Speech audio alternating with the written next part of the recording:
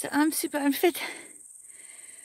I rode up the road, not even 16 hectares, silly. And I'm already out of breath.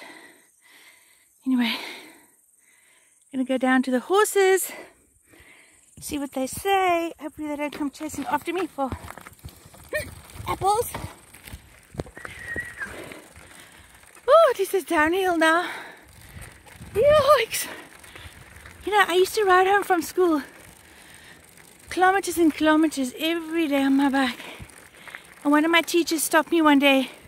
Well, he, stopped, he spoke to me at school the next day. My maths teacher he says, You are going too fast down that hill. Um, nothing's really changed. I used to drive my, my bike fast, and now I drive my car fast.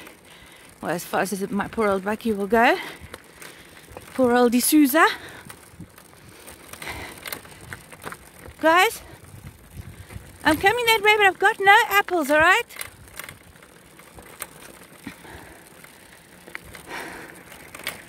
So don't chase me with the apples, okay, guys? Yeah!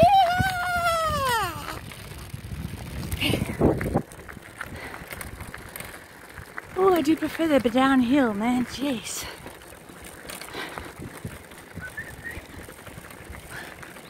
Ah.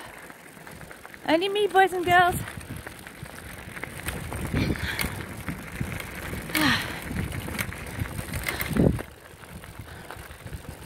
See you later, guys.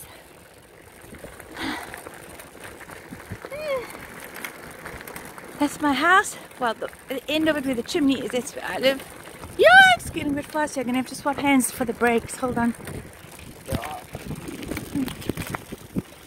Hmm.